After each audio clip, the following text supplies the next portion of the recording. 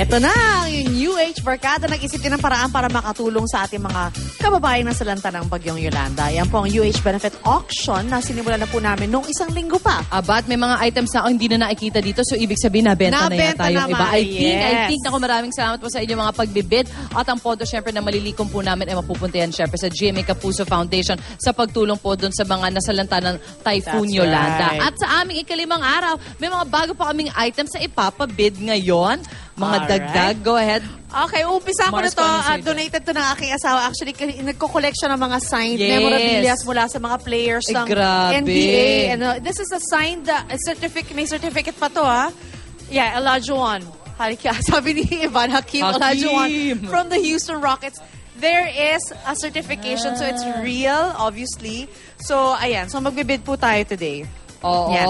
Ayoko sabihin kung magkano muna. Oh, sige. Yun sa Pinag-iisipan pala yung starting bid. Pinag-iisipan Ako na meron akong bag dito. Ayan, maganda pang summer. At super laki. Alam niyo naman mga girls, ang hilig mag, ano, magbitbit ng napakalaki mga bag. Tory Burch, ang starting bid po natin dyan ay 2,500. Ayan, so bid now.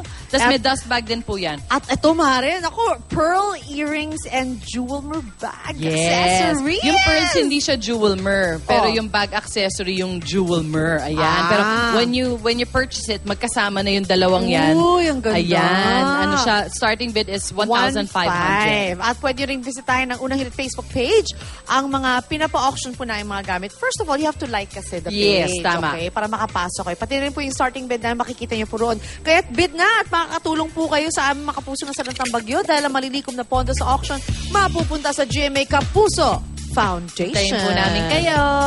Yan, bid na kayo. Go, go, go.